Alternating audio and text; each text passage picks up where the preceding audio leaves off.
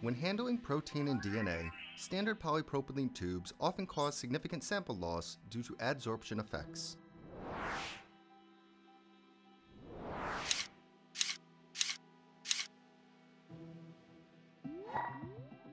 This unspecific adsorption of protein or DNA molecules to the polymer surface of the tube may cause up to 90% sample loss during handling and storage.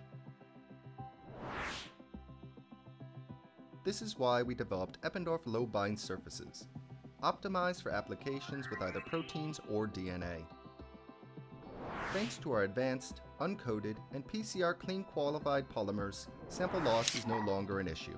Instead, it has been demonstrated in typical laboratory protocols that Eppendorf LoBind tubes show a recovery rate of more than 95%.